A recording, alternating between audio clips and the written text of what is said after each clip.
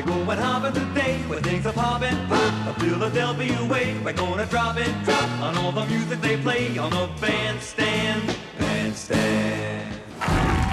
Diamond. This is Bill Henderson. Bill, would you do the honors, please, and introduce me to your associates? All right, this is Brian MacLeod. Hello, Brian. Nice to have you with us. And behind us? Paul Delaney. Hello, Paul. Nice to see you. And over here? Ab Bryant. What are the functions of all of you? Do you divide this work up uh, equally? Yes, we do. You produce? Yes? Do you write? Yeah, Uh, do you count the money? Oh, I'd love to. What was, it? was I wrong? Eight or nine albums? uh, it is nine. This is the ninth album. Uh, that means that you worked real hard to get to this point. Now that you're here, are you the least bit worried you can carry it off? Continue it? Uh, we just uh, want to keep doing it. You know, uh, we do enjoy what we're doing, so uh, hopefully that will carry us, and we're just going to work hard. Ryan, where do you make your records? We make our records in Vancouver, Canada. Is there any difference in making records in Canada versus anywhere else in the world? The same 48 track board.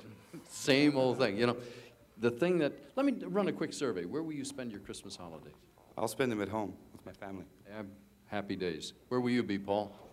In Toronto? Know it well. You'll be up to your eyeballs in snow. Uh, Bill, where are you going to be? I'll be in Vancouver. You- You're not going to work then, is that right? No, we're not going to work. We're going to be in Vancouver in the rain. No it, no, it never rains in Vancouver. Even when it does, it's beautiful. What is this next song? Uh, the next one is called I Believe, and it's going to be our next single. It should be out just after Christmas.